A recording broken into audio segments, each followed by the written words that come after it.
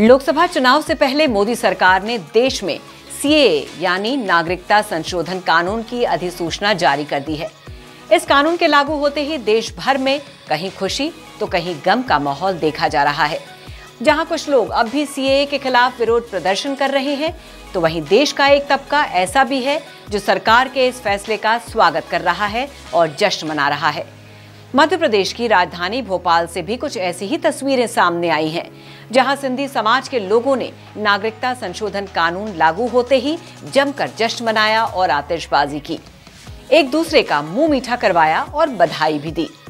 भोपाल में संपन्न हुए इस आयोजन में पूर्व महापौर और भोपाल से लोकसभा सांसद उम्मीदवार आलोक शर्मा ने वहाँ उपस्थित लोगों के साथ खुशियाँ मनाई।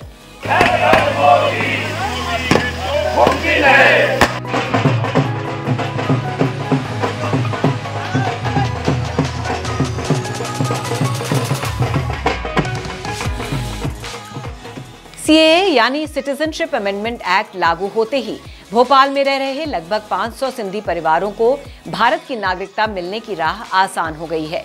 जो लोग लॉन्ग टर्म वीज़ा पर भारत में रह रहे थे, वो अब भारतीय नागरिकता के लिए आवेदन कर सकते हैं। इस कानून के लागू होने पर पंचायत ग्रामीण मंत्री प्रहलाद पटेल ने गृह मंत्री अमित शाह और प्रधानमंत्री नरेंद्र मोदी का आभार प्रकट किया।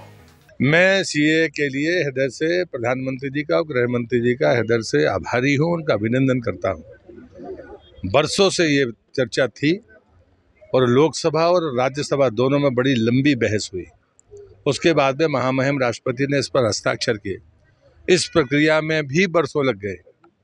एक वर्ष से ज़्यादा का समय लगा है। और इसलिए मैं ये मानता हूँ कि इसकी जो पहली पहचान है कि हम किसी की नागरिकता छीनने के लिए कानून नहीं लाए हैं, नागरिकता देने के लिए लाए दूसरा है कि देश के सामने दो अवसर, दो परिस्थितियाँ आती हैं। एक शरणार्थी आते हैं और एक कुछ घुसपैठी आते हैं। इस कानून से साबित है कि शरणार्थियों का सम्मान है, घुसपैठियों का नहीं। और इसलिए मुझे लगता है ये मूल भावना है भारत की, जिसको ये एड्रेस करता है कानून। सीए कानून के लागू होते ही सालों से शरणार्थी का दंश झेल रहे सिंधी परिवारों में खुशियाँ छा गई हैं।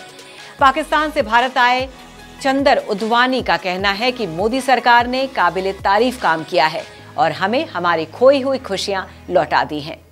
सबसे पहले तो मैं मोदी जी का धन्यवाद देना चाहूँगा कि उन्होंने इतने बहुत बड़े संघर्ष के बाद इस कानून को लागू किया है और देश में जो हमारे सिंधी भाई पाकिस्तान से जो यहाँ पे आए थे, उन्होंने बहुत ही संघर्ष किया है और बहुत संघर्ष के बाद यहाँ पे स्थापित हुए हैं। लेकिन आ, वो आ, आज इस बात को लेकर बहुत खुश हुए होंगे और बहुत बहुत बधाई दे रहे होंगे। एक्चुअल उसमें जो पुराने लोग थे वो तो बेचारे अब थक चुके हैं बहुत। तो उन्होंने तो खाली भावनाओं से प्रकट किया और जो नई पीढ़ी है वो ज़्यादा खुश हुई कि हम स्थापित हो गए। हम लोग अब नए तरीके से यहाँ पे व्यवसाय कर सकते हैं और आगे बढ़ सकते हैं। इसी तरह से विस्थापित का दर्द झेल रही दीपा गंधवानी ने भी अपना और अपने पिता का दर्द साझा किया और बताया कि उनके पिता 12 साल की उम्र में ही भारत आ गए थे और उनका जन्म भी भारत में ही हुआ था। लेकिन अभी तक हमें भारत का नागरिक नहीं माना जा रहा था। लेकिन अब मोदी सरकार के इस फैसले से मेरे पिता को काफ़ी सुकून मिला है, क्योंकि अब हम भारत के नागरिक होंगे। दिक्कत ये थी कि जब ये जो मेरे पापा मेरे पापा क्या है, बारह साल के थे तो वो वहाँ से आए थे पाकिस्तान से।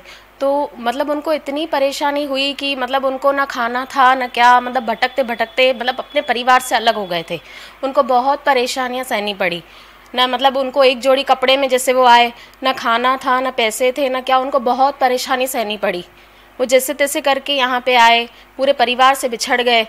उनको बहुत दिक्कतें आई। अब मतलब वो बहुत खुश है। अभी तो मतलब उनकी इतनी एज हो गई है लेकिन फिर भी वो मतलब ऐसे भाव व्यक्त कर रहे हैं कि मैं बहुत अच्छा हुआ, मैं, मोदी जी ने बहुत अच्छा किया। ऐसी ही कुछ कहानी सिंधी सेंट्रल पंचायत के उपाध्यक्ष प्रदीप की है। उनका कहना है कि न जाने कितनी परेशानियों को हमने और हमारे परिवार ने झेला है। कोई कागज़ नहीं, पेपर नहीं, फिर भी आसपास के लोगों ने बहुत प्यार दिया। और सबसे बड़ी खुशी तो मोदी सरकार ने आज दी है। उन्होंने हमें खुद को भारतीय कहने का हक दिया है। लोकसभा चुनाव से ठीक पहले जहाँ केंद्र सरकार का तुरुप का पत्ता, यानी सीएए विपक्षी दलों के गले की फांस बन गया है तो वहीं विस्थापितों के लिए वरदान साबित हुआ है। भारत में सिर उठाकर ज़िंदगी जीने की चाह पूरी होने से आज इन सभी के चेहरे खिले हुए हैं। ज़ाहिर तौर पर इसे बीजेपी का मास्टर कार्ड माना जा रहा है, जो आने वाले आम चुनाव में मोदी सरकार को बड़ा फ़ायदा पहुँचा सकता है। फ़िलहाल की खबर में बस इतना ही, बाकी खबरों के लिए देखते रहिए श्रेष्ठ भारत।